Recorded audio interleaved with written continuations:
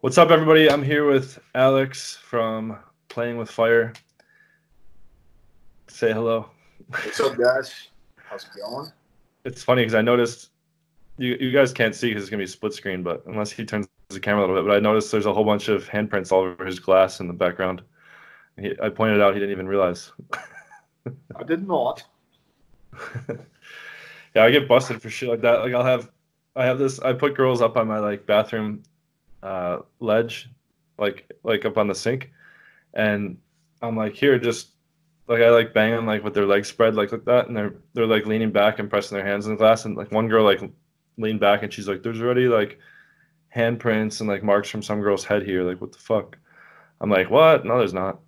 supposed to be a burglar. Someone broke into my house. Probably. they just like that spot.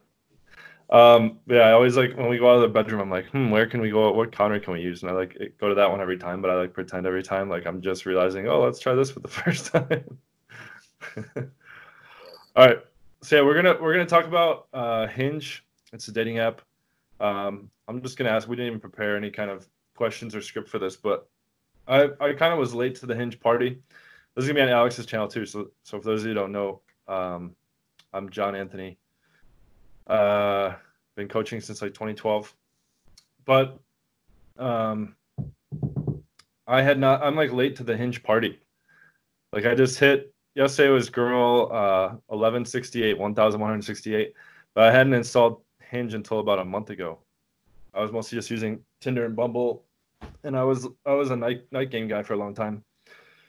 Uh, hinge, hinge, hinge is one of my favorite apps i think really? it's better, i think it's uh on par with bumble pretty much nice yeah, it, it, sucks that I was so late to the party, but I want to do that. What what made me think to this video is like when I was on there last night, I like messaged like 10 chicks or whatever and then i got messages back fairly quickly and then like set up dates with a few chicks and i was like wow i just set up a few dates in like 10 minutes whereas with tinder it's just like wham wham wham wham wham you know hinge is a lot newer so it's a lot newer than tinder so i think that a lot of girls on there they're not like old and active accounts like the girls on there are more like active more oh really uh, yeah yeah I think that's what i've noticed We'll give let's give like an overview, and then I'll give you like I have I didn't like read any formal strategy on it. But I was just applying what I know from just general game stuff, and I'll and I'll see how how much that lines up with yours, and you can give your strategy and insights.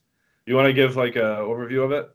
Yeah. So Hinge is basically a crossover, in my opinion, between like a dating app and a dating website because you get to like you get to pick a few questions and then pick answers to it. I think that's actually really good because you can screen before you match with a girl. So you can use those questions to um, to like screen girls out who are more DTF or whatever, more fun, more down to do shit. Um, so you, you know, you want to screen out the DTF girls. You want to scream out the DTF girls. You want to go for the marriage only girls. you want to screen out any girls who are too raunchy. Meet up with the super prudes and secret fatties. you want, you, sometimes you want the super prude who's a secret fatty. I remember you used that term when we met for the first time years back in LA, you were you were talking about secret fatty. You were showing me a text thread. You're like, "Are you trying to secret fatty me to a chick?" Think that's funny. all right, so all right, so people fill out the questions, but it it also like forces you to put like five pictures, right? Five or six. You have to have six pictures. Six, yeah, yeah. Because like I, I usually have like two or three like really really really good ones, and on Tinder and Bumble like those are the only three I use, two or three, and that with Hinge it was making me it was forcing me to pick six. It's good though because if a girl has like one or two pictures, you know, you can get secret fatty. But if there's six, the chance of being secretly fatty is unless unless there's like significantly six lower. Six face pics. I see that on there. Like yeah, six. That's a, that's a big red flag. Six pure face pics, and then you, you get them on the on text message, and I'll be like, hey, send a send a picture that's like not your face. And she's like, not like I don't send pictures to strangers. I'm like, yeah, but I want to see what you look like before we meet oh, like, like maybe we're looking for something different. It's like what? That's the secret fatty logic if I ever heard it. Yeah, are they get are they get very defensive? yeah, yeah, yeah. I dude, I don't I don't even bother if I don't see a body pick. I'll left swipe. Like I don't even bother with that shit anymore. and then eventually it comes out. She's like, "Well, I'm a bit big boned, or they use like some funny adjective that like makes it okay. I'm uh, or there's, there's like a whole lot of women or something like that. Like, don't there's all these terms. There's uh, I'm a I'm, I'm a big girl.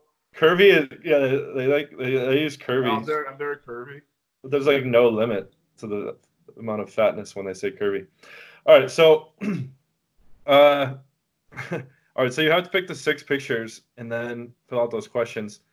And then um for those that aren't familiar, like you're not swiping, it just shows you like profiles in turn, and then you can either just like like a generic like on a picture or comment of theirs, a picture or, Or, you, question. or, you can, or you can like with a comment.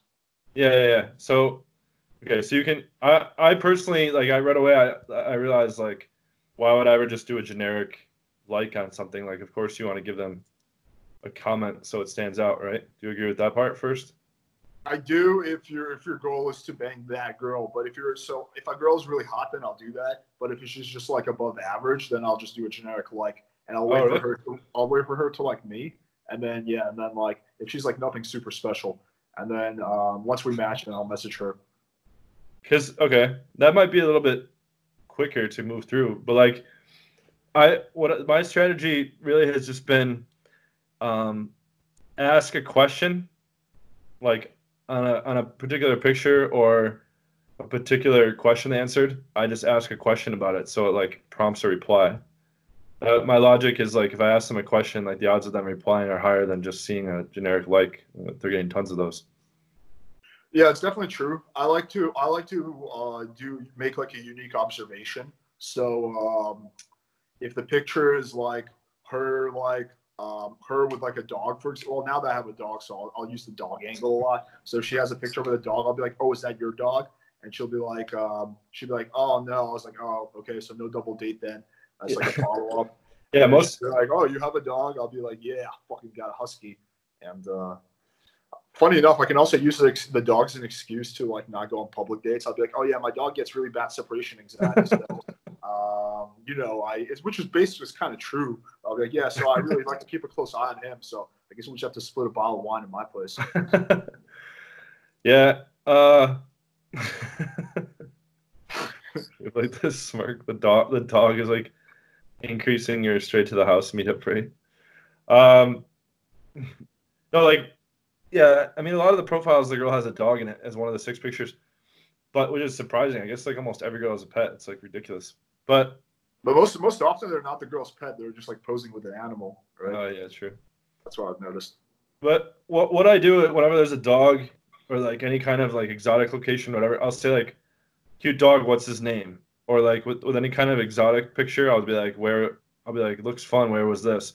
How, how do Uh, you how do you, how do you transition from that though? Like after she says, uh, like you ask her where was this, she says Machu Picchu. I just go into my regular script, like all the all that first question. Like does- I don't continue on that thread. All that first question is is just to get Just them in the door. get yeah get them to match it, and then I just go straight to my regular script, which I've like cut down significantly. I'm going for the number close.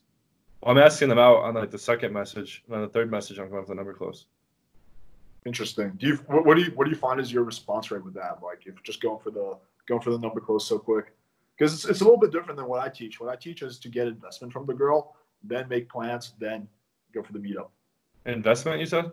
Yeah, so get get a little bit of investment from her, like get her actually riding into the conversation. Find some way to get her to invest, which I So find like- really, really minimizes the chance of her flaking or her just disappearing. Then once she invests, then you know propose the general idea of meeting up. Then you know make hard plans and then switch over to texting.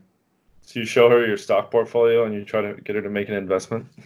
yeah, basically, yeah, yeah. I was like, all right, listen. So I got uh, I got 29 points, and uh, I don't even know any, anything about stocks. But yeah, get, get her. Get It's her like, I'm not willing to invest at this time. Participating in the conversation, basically. yeah, I mean, I don't. I skip all that because I'm always. My, I'm like volume's always like my cornerstone. I mean, I'm I'm just trying to. I mean, it, it goes pretty well though. Like, uh, like here's here's the threat. Here's I'll just give this away. I guess here here's like the sequence that I'm currently using. Is I'll I'll ask them how is the Hinge life treating them? How's the Bumble life treating them? How's the Tinder life treating them? Whatever, and then they say some bullshit, and I'm like, and they usually ask how it's treating me, and I'll, I'll be like, "LOL, it's definitely interesting. Let's cut to the chase and get a coffee sometime." So like, the, I started doing that the past couple months, working really well. I, I say the let's cut to the chase because it, it kind of gives an excuse for why you're asking for it so quick. And I'm not asking for the number right away. I'm saying let's get a coffee sometime. And then if they push back on that, which doesn't happen a whole as much as I thought it would, but if they push back on that, I just say endless chit chat on these apps can be boring. I prefer to get to know you in person. But if they say like, yeah, sounds good about the coffee, then I say, cool, let's plan something over text. It's easier. What's your number? And then over text, I say, hey, it's John from wherever. When are you free? And so it's um, it's just like a compliance ladder. Like she's gonna tell me how her experience on the app is when I ask her, and then I say, LOL. Let's cut to the chase. It's like give me an excuse to ask for meeting up, and then when she agrees to meeting up, then I, the number follows from there, and I just go straight to logistics over text. And if she asks, uh, and a lot of times I've been sexualizing it lately too, and then she, and then she, so she's like, "What do you want to do?"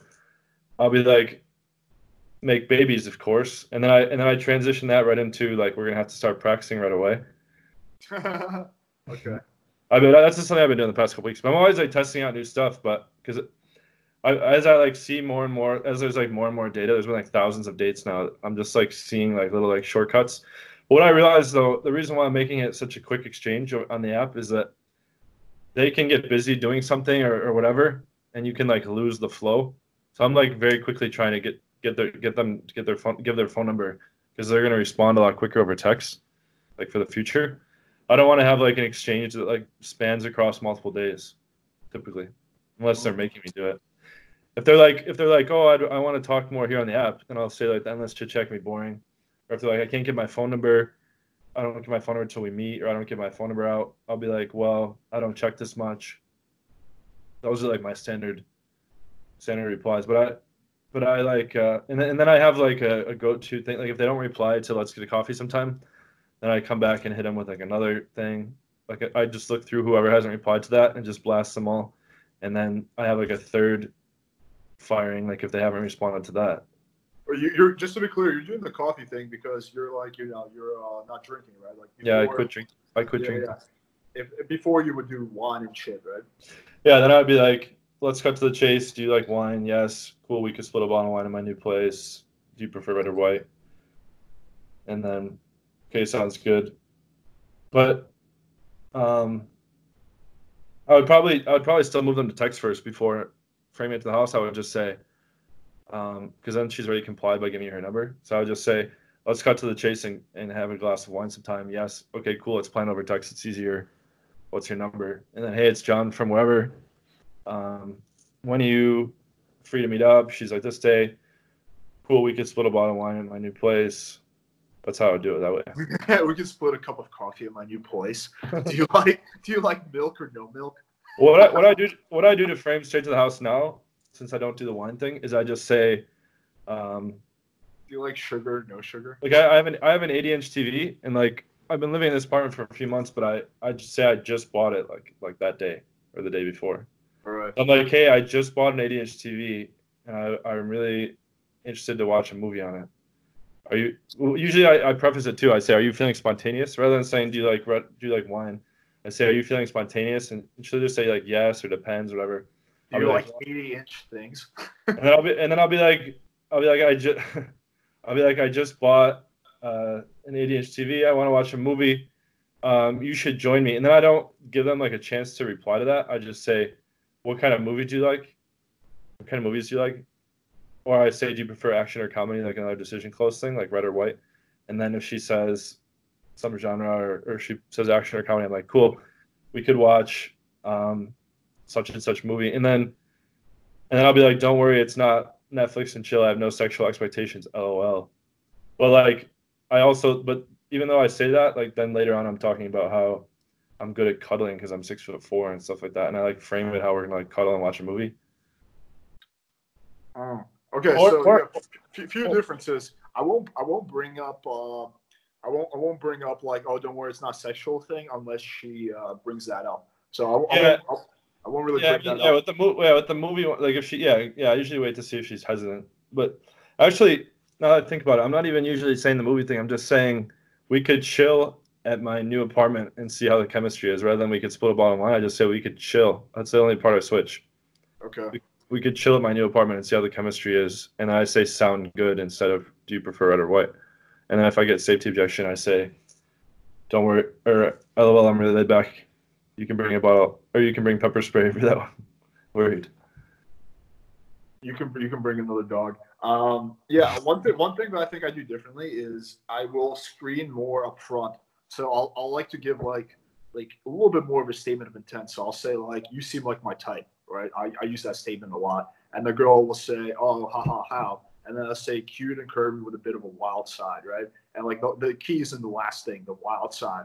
And so if a girl's like prude, she'll be like, no, you know, I'm a shy, whatever, blah, blah, blah. Sometimes the girl will troll you and she'll be like, haha, that's not me. And I'll be like, even when it really is, I'll be like, oh, cool, you're a virgin like me, right? So that's like my further way of like screening it out. But um, yeah, so I'll typically do that, just kind of get for a feel. But most girls will be like, oh, yeah, how do you know? And then that kind of gives me the green light to, okay, like this girl is at least somewhat like non prudish most of the time.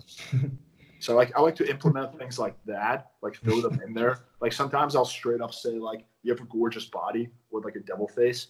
Um, it depends if the girl is showing off her body or not though. Like if it's something that she's clearly proud of, then like gives me the green light to say that. But basically, I just want to screen out like any girls who are going to be like, you know, extra prude or you know, not down to have a threesome with my dog. Just anything that you know is different than what I'm looking for.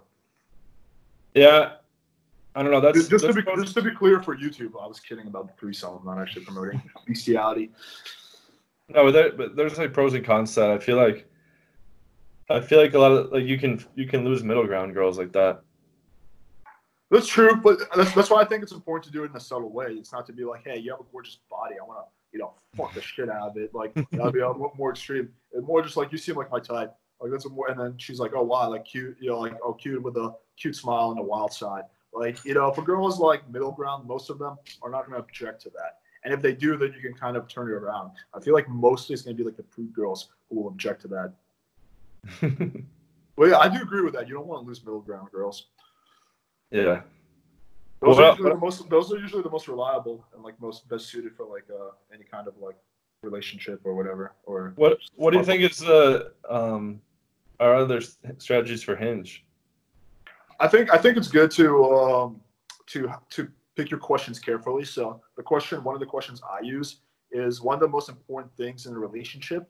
Right, that's the question. I say communication and great sex, and like I think that's a really good one. A lot of girls comment on that and say, "Oh, I totally agree." Because what girl is not going to agree with that? Like, oh no, like you want bad sex in a relationship and no communication.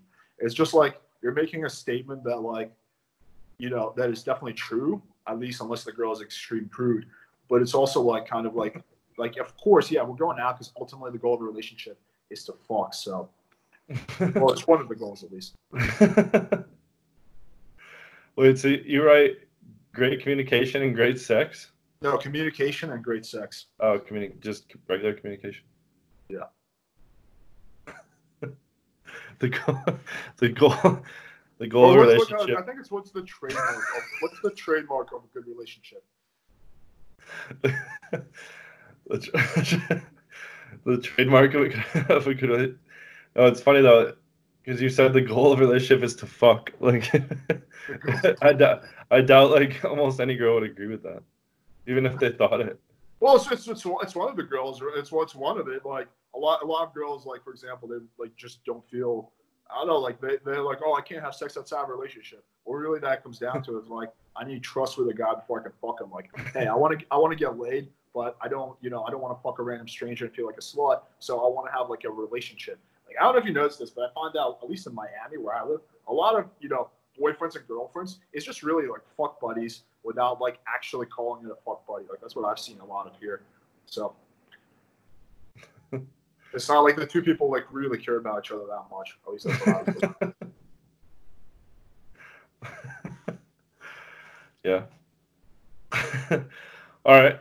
Um, I'm trying to think what else. I, I don't know. I, I always like scan through their six pictures, and if like just really quickly because I don't want to spend a lot of time on their profile either. But if it's a dog, I just say cute, cute dog. What's his name? If there's any kind of place that's like not a normal place, I'm like looks fun. Where where was this? um, or any other stupid thing like oh like she has different hair colors what color is her hair now it, anything like that but i always make it a question just so that the response rate is higher because i feel like they're going to want to and, and i make I, I make it i make it about like something they clearly care about Like if it's their dog, they clearly care about that. Or if if, it, if they're like holding like a baby, like how old is the baby? Like I don't care if it's their baby or their fucking nephew or whatever. I just they're they're not gonna be like fuck this guy. Like they're gonna like it's almost like you're channeling compliance through the dog or the baby. That's like the best way to put it. Using, the like, dog, using, using the dog to get laid. but, like which is what you're doing. No, but I mean, for them to like deny your question about the dog is almost like disrespectful to their to the dog on some level in their mind. I feel. That's true. Do you, do you, do you find out that that will actually translate into solid leads? I don't really give a shit. Like I'm just using that as an in to like start the conversation. I'm not. I'm not. I don't. I'm not gonna like continue the thread about their dog or their baby or the or No, the I, stupid. I, I, I get it. What I'm saying is that like if it's like so like if the girl will only respond just because it's a question, like do you find that that Well, then it, well then it, well then it's I don't know because I I've only been on it like a month, but I'm doing pretty well on it. Like I said, like I just jump on and like most girls ask questions to. A lot of them are replying to them. Um, but I feel like, uh, what the fuck was I gonna say? I feel like um, like oh that that starts like a, a compliance momentum thing. It start it starts like a slippery slope or like even if she's like doing it out of obligation just because it's about the dog or the baby and she feels like she has to answer it like now you've started a conversation and you have like your thread like for those of you that haven't used hinge when they like respond to your comment or they like accept your like or whatever and like you back now you have like a dedicated thread to like converse just like a text thread or like a match on tinder. Basically, the big difference between one of the big difference between Hinge and Tinder is that on Hinge you can actually send your first message without matching with a girl. In essence. yeah i love that Yeah, so it's, it's like it's it's kind of like OK Cupid in that sense, but without like all the bots and the whatever. all- and the chicks all- the chicks are, are decent looking like I think they're better looking than Tinder, to be honest. really Yeah, they're they're almost as good as Bumble. Bumble, I think, uh, like out of all those apps, Bumble would be in first place. Hinge would be second. Hinge or uh, Inner Circle, maybe. what about the prudeness though Uh, I've banged quite a few girls from Hinge, honestly, so I haven't noticed them. I haven't really encountered any super prude ones on Hinge. Not Yeah. that I, not, not kind can of- think of. like bumble's a slightly more prude than tinder Yeah, on average, but still, still definitely some DTF girls on Bumble. Yeah, but with Hinge, like you, in terms of like how DTF the girls are, would you say like it's like Tinder, Hinge, Bumble? I would say it's somewhere in between Tinder and Bumble. Yeah. Nice. Yeah, I wish I would have fucking. a lot, of, a lot of it also based on like your profile. Like I don't know, I feel Yeah. like you attract like every guy attracts different types of girls. Yeah, yeah. I wish I would have fucking installed it sooner. Like, like I said in the beginning, like one thousand one hundred sixty-eight girls. I only, I only have like a handful of Hinge lays, I think, right now. But I'm like new to it. But it's funny. It's It's, it's a solid app. yeah. Are those There's, like the only, big? there's only three apps I really recommend: Tinder, Bumble, and Hinge. That's what I was gonna say. Yeah. Most of the other ones suck. Yeah. Yeah, OK Cupid and Plenty of Fish and Match have like, it's like fucking creatures. Creatures of the deep. All right. Yeah, I mean that could probably wrap it up then. I just wanted we, we got into some of our online game strategy that we're using, so that's pretty good. Um, I'll, so yeah, I'll, I'll, I'll give away a big one for your channel. One thing that I've been doing is I changed my job to uh, sexologist. So my job title is sexologist. I get a lot of questions about that, like, oh, what does a sexologist do exactly, or how do you become a sexologist? I find that's like a really good way to like just create like a good sexual thread. do you like do you say it's a joke or you, just own it? No, I own it. And what do you say you do? I'm like, oh, you know, I'm like a sex and dating coach. I'll um, I'll explain more, you know, when we hang out. So well, it's a little bit, it's better explained over a bottle of wine. She's like, "What's a sexologist?" You're like, "Well, I give people advice on sex and dating. I can tell you all about it with some No, wine." not. It's, it's, it's a little bit smoother than that. Like I'll we can't it- leave. We can't leave my house because my dog's here and he has separation anxiety. Can you come over right now? right now. do you do, you- do you have a girl for the dog? He's getting neutered in two weeks, so we need to uh, get him laid ASAP. You know, you know what? Another thing I've been doing uh, that I could add in. This is kind of a new. It's it's interesting. After like a thousand tricks, still fucking innovating new new shit in here. But I've I've tried to like do a bunch of them to like meet immediately, like even if I'm not free, and then like once you I get them to commit to the meet, then I can just reschedule it. So like I'll just be like, "Are you feeling?" Sp-? I got that from when I started saying, "Are you spontaneous?" I'll be like, "Are you feeling spontaneous?" And I'll be like, "Yeah, I just got back from the store, picking up this 80-inch TV." I'm like, or, or or like, I'm in a terrific mood today. I really just want to put on a comedy movie and just relax. I know we haven't met before, but hashtag I literally would put hashtag YOLO. I'll put I'll put that like helps to aid the compliance. I'll be like, but hashtag YOLO, you should totally come watch. And then I'll I'll throw in the no expectation sometimes just because that's such a common response. I just preempt it sometimes. So I'm like, are you feeling spontaneous? Depends, maybe. Oh, cool! I'm in a great mood. I really want to want to watch a comedy movie on this new 80-inch TV that I bought. You should come over. Hashtag YOLO. I know we've never met. Don't worry, I have no sexual expectations. Hashtag, oh, hashtag no expectations. And then hashtag. what a lot, a lot of times what they say is like, hashtag I, can't leave the house because of the dog.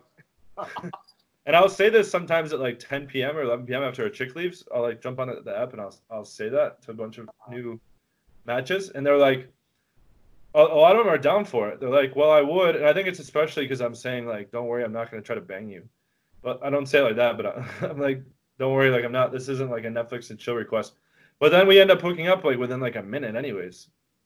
Like I arrive and we just start like making out, or the, or no, not, I was thinking of one. Oh, this chick was like, "I'm about to get into bed, but you can come here." Like it was like this whole back and forth, but like um. But but the thing is, a lot of them are like, "Oh, I would, but I have an early morning because I'm doing this at like ten. A lot of them are like in bed or like about to go to bed."